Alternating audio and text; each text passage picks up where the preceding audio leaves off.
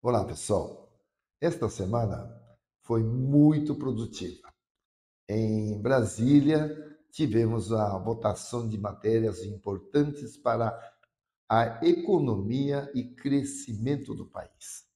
Em Curitiba, participei do Fórum de Mercado realizado pela OCEPAR.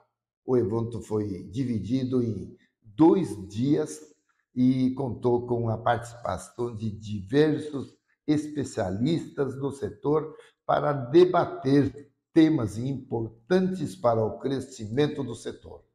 Dentre elas, o mercado de proteína animal.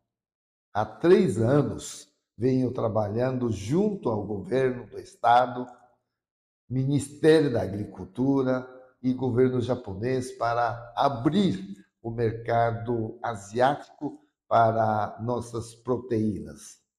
O maior desafio tem sido entraves burocráticos e questões sanitárias, mas eu acredito que logo venceremos estes desafios. Nossa expectativa é muito boa, tanto carne suína, é, bovina, mesmo peixe que vai crescer, frango já é consolidado.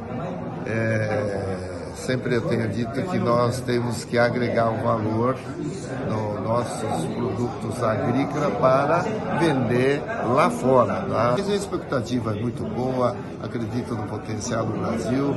Aqui temos a brilhante agricultura, agora industrializando. É, acredito que é, é, cada vez maior a, a, hoje é o mercado asiático. Ele está crescendo mais gente, Índia, China, vários outros países, e temos que focar muito no mercado asiático, porque o Brasil é o número um da exportação de alimento ao mundo e cada vez mais vai consolidar isso. Grande abraço a todos.